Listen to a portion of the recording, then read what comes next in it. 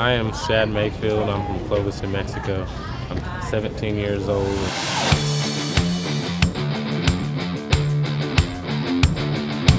I've never been to the AT&T Stadium, but I'm ready to be there tomorrow.